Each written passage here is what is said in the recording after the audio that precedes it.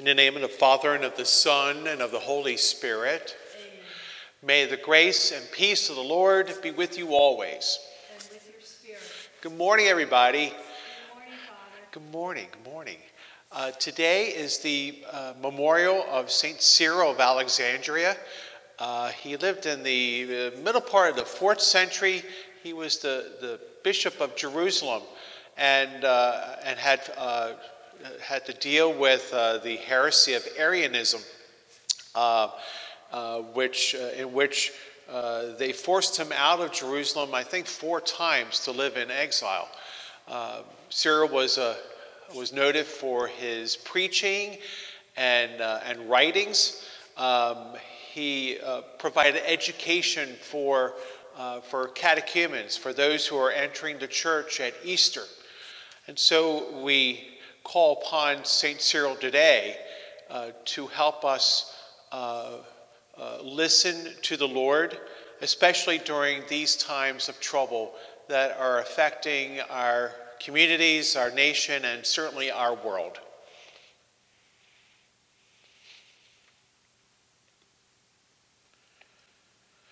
I confess to Almighty God and to you, my brothers and sisters, that I have greatly sinned in my thoughts and in my words, in what I have done and in what I have failed to do, through my fault, through my fault, through my most grievous fault.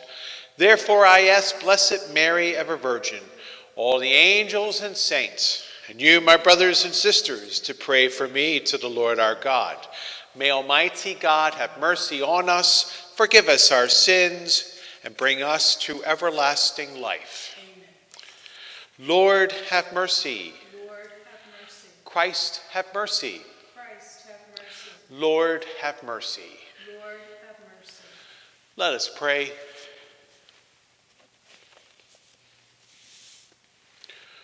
O God, who through the Bishop St. Cyril of Jerusalem led your church in a wonderful way to a deeper sense of the mysteries of salvation. Grant us, through his intercession, that we may so acknowledge your Son as to have life ever more abundantly. Through our Lord Jesus Christ, your Son, who lives and reigns with you in the unity of the Holy Spirit, one God, forever and ever.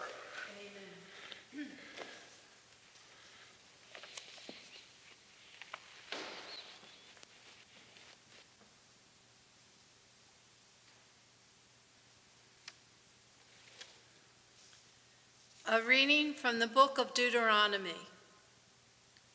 Moses spoke to the people and said, Now, Israel, hear the statutes and decrees which I am teaching you to observe, that you may live and may enter in and take possession of the land which the Lord, the God of your fathers, is giving you.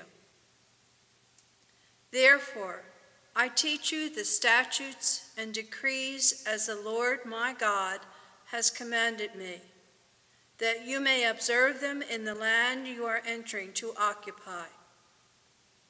Observe them carefully, for thus will you give evidence of your wisdom and intelligence to the nations, who will hear of all these statutes and say, This great nation is truly a wise and intelligent people.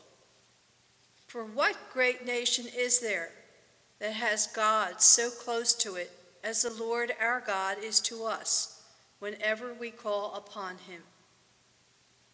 Or what great nation has statutes and decrees that are as just as this whole law which I am setting before you today? However, Take care and be earnestly on your guard, not to forget the things which your own eyes have seen, nor let them slip from your memory as long as you live. But teach them to your children and to your children's children. The word of the Lord. Thanks, Thanks be to God. Praise the Lord, Jerusalem. Praise the Lord, Jerusalem. Glorify the Lord, O Jerusalem. Praise your God, O Zion, for he has strengthened the bars of your gates. He has blessed your children within you. Praise the Lord, Jerusalem. He sends forth his command to the earth. Swiftly runs his word. He spreads snow like wool. Frost he strews like ashes. Praise the Lord, Jerusalem. He has proclaimed his word to Jacob his statutes and ordinances to Israel. He has not done thus for any other nation. His ordinances he has not made known to them. Praise the Lord, Jerusalem.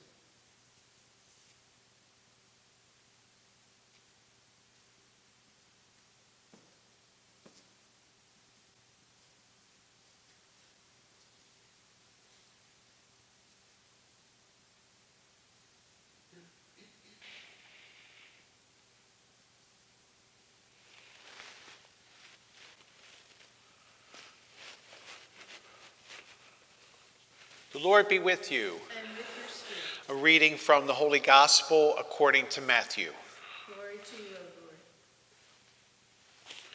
Jesus said to his disciples, Do not think that I have come to abolish the law or the prophets.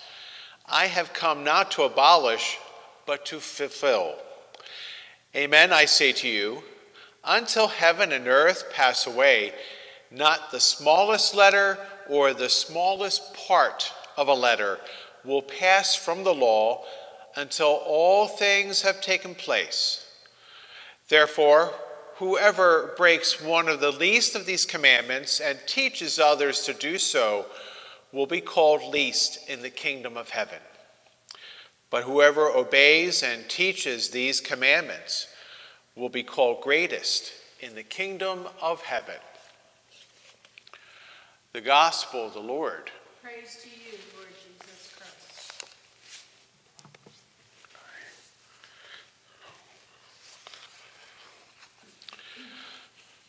I believe many of the values that have shaped our lives, many of the beliefs we hold dear, were learned in one special place the family dinner table, which is, I bet, becoming a popular piece of furniture in your house these days.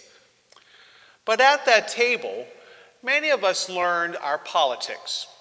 Father and mother and however many extended family members and guests held forth on the glories and evils of FDR's New Deal, JFK's New Frontier, LBJ's Great Society, and Ronald Reagan's Morning in America, just to name a few. But at that table, we learned our story the journeys of our ancestors from small villages and cities across the seas to this table where our family now gathers. At that table, we first learned how to share and our responsibility to serve others before ourselves. At that table, we came to realize how hard our parents worked to provide all that was necessary for our growth and development. That table was also a place of affirmation, support, unconditional love, love given, love returned. At that table, my school project was as important as dad's new contract. My sister's role in the new play at the school was celebrated with the same joy as mom's birthday. That table was also the place where we first learned to live the values of the gospel gratitude, generosity, compassion, forgiveness. Despite whatever traumas or pains or grief we are now experiencing, that table was the one place where we always felt where we belonged, a place of safety, forgiveness, and welcome, the place where we could be family to one another. In many ways, the tables of our childhood were our first experience of the kingdom of God, the first place where we welcomed without fail, cared for no matter what, loved without condition. And so during the season of Lent, may the tables we make for our families today be places where we teach our children through our example and our determination and our conviction the gospel of mercy, of reconciliation, and compassion.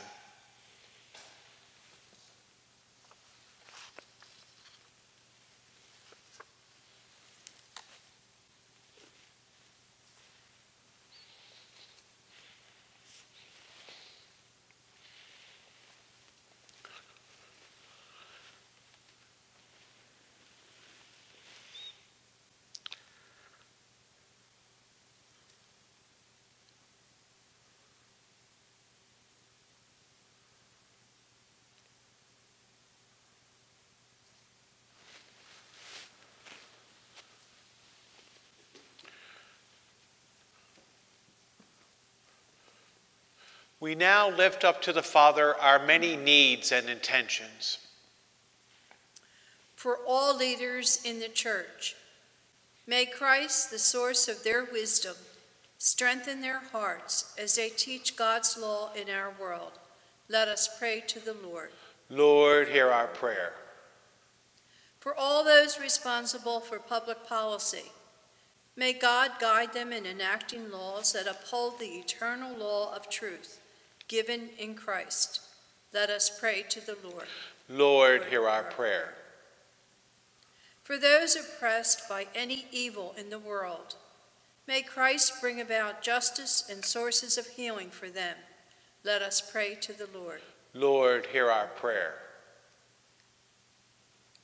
For all those who are gathered to view this Mass, May the Holy Spirit give us wisdom to understand all that God teaches and the grace to receive Christ's help in our moral struggles. Let us pray to the Lord. Lord, hear our prayer. For those who have died, may they rest in the perfect peace of God's presence. Let us pray to the Lord. Lord, hear our prayer. For Sandra Kern, for whom this Mass is offered, and for those silent intentions which we lift up from our hearts. We pray to the Lord. Lord, hear our prayer. Good and gracious God, we offer you these prayers, knowing that you will answer them according to your holy will through Christ our Lord. Amen.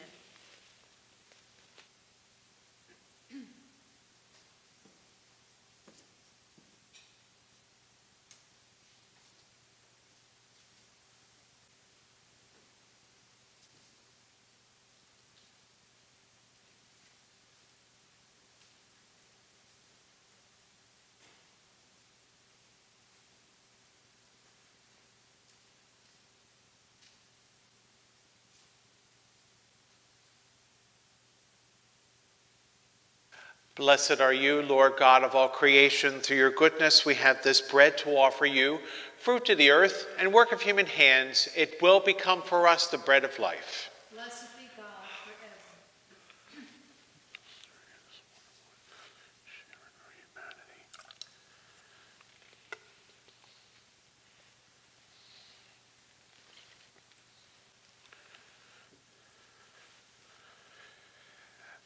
are you, Lord God of all creation. Through your goodness, we have this wine to offer you, fruit of the vine and work of human hands.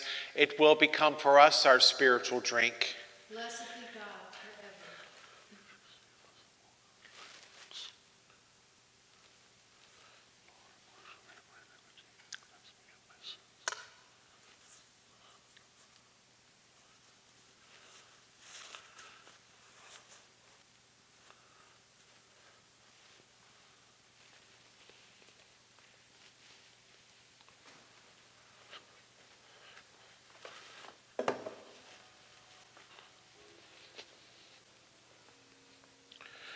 Pray, my friends, that my sacrifice and yours may be acceptable to God, the Almighty Father. May the Lord accept the sacrifice at your hands for the praise and glory of his name, for our good and the good of all his holy church.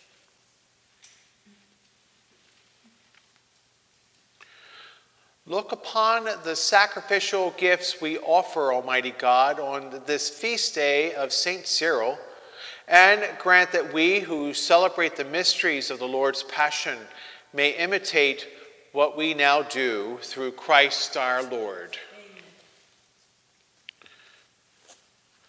The Lord be with you. And with your spirit. Lift up your hearts. We lift them up to the Lord. Let us give thanks to the Lord our God. It is truly right and just, our duty and salvation, always and everywhere, to give you thanks, Lord, Holy Father, Almighty and eternal God, through Jesus Christ. For by your gracious gift each year, your faithful await the sacred paschal feasts with the joy of minds made pure, so that more eagerly intent on prayer and on the works of charity, and participating in the mysteries by which they have been reborn, they may be led to the fullness of grace that you bestow on your sons and daughters. And so, with all the angels and saints, we praise you forever. Holy, holy, holy Lord God of hosts, heaven and earth are full of your glory. Hosanna in the highest. Blessed is he who comes in the name of the Lord. Hosanna in the highest. You, therefore, Almighty Father, we bless through Jesus Christ, your Son, who comes in your name. He himself is the word that brings salvation, the hand you extend to sinners, the way by which your peace is offered to us. When we ourselves had turned away from you on account of our sins, you brought us back to be reconciled, O Lord, so that, converted at last to you, we might love one another through your Son, whom, for our sake, you handed over to death. And now, celebrating the reconciliation Christ has brought us, we entreat you, sanctify these gifts by the outpouring of your Spirit, that they may become the body and blood of your Son, whose command we fulfill when we celebrate these mysteries. For when he's about to give his life to set us free, as he reclined at supper, he himself took bread into his hands, and giving you thanks, he said the blessing, broke the bread, and gave it to his disciples, saying, Take this, all of you, and eat of it. For this is my body, which will be given up for you.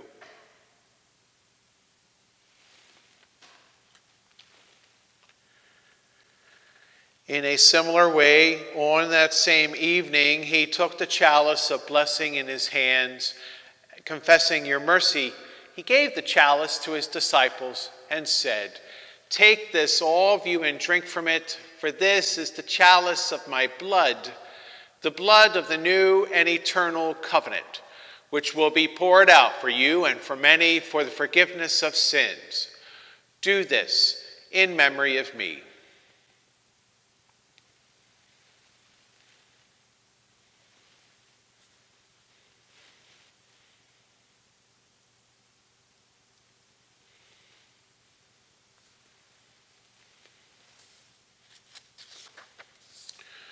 The mystery of faith.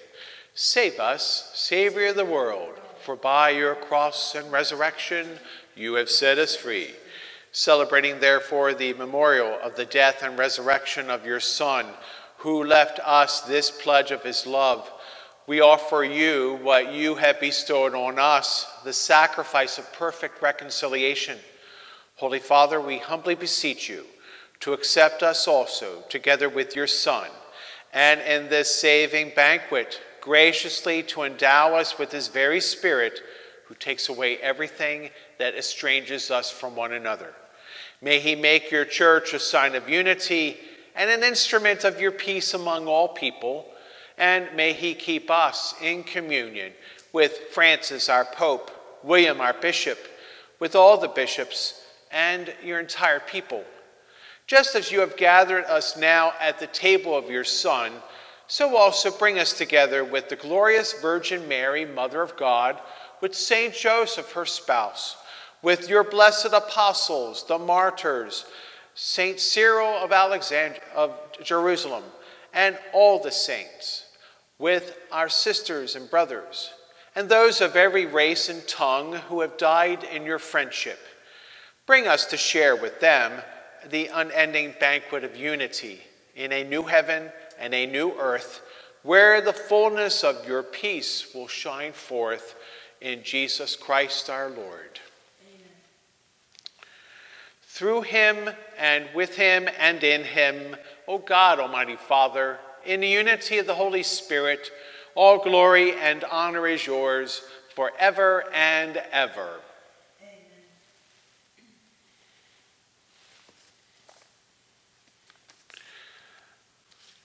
We pray the words that Jesus himself once prayed Our Father, who art in heaven, hallowed be thy name. Thy kingdom come, thy will be done, on earth as it is in heaven. Give us this day our daily bread and forgive us our trespasses, as we forgive those who trespass against us. And lead us not into temptation, but deliver us from evil.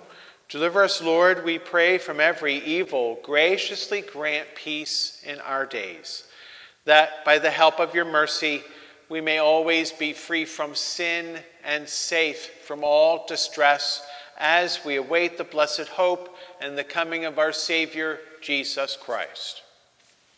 For the kingdom and the power and the glory are yours, now and forever. Lord Jesus Christ, who said to your apostles, Peace I leave you, my peace I give you. Look not on our sins, but on the faith and courage of your church, and graciously grant her peace and unity in accordance with your will, who live and reign forever and ever. Amen. May the peace of the Lord be with you always. With Let us offer one another the sign of peace. Peace, sister. Go.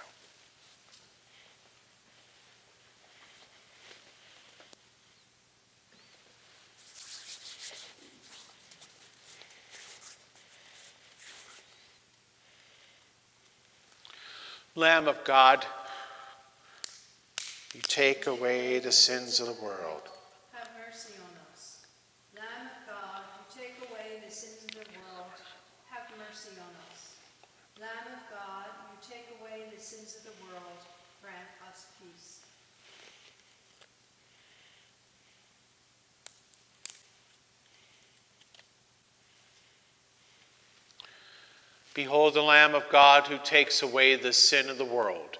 Happy are we called to the supper of the Lamb. Lord, I am not worthy that you should enter under my roof, but only say the word, and my soul shall be healed.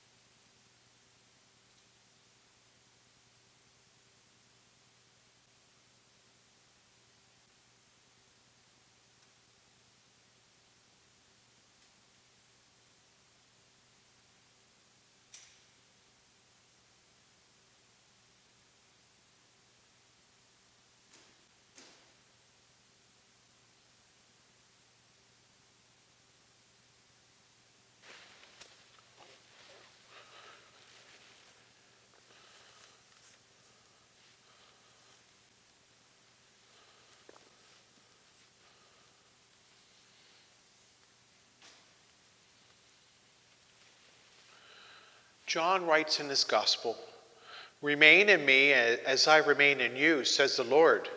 Whoever remains in me and I in him bears fruit in plenty. Let us pray. May the sacrament we have received, O Lord our God, nourish in us that faith taught by the preaching of the apostles and kept safe by the labors of St. Cyril through Christ our Lord. Uh, uh, quick uh, reminder um, uh, there is no adoration today. Uh, we will be having work done in the church, in the sanctuary, and also in the narthex. So, again, as a reminder, no adoration today. And um, uh, that will continue. We will have adoration after Mass on Thursday. So, the Lord be with you. And with your spirit.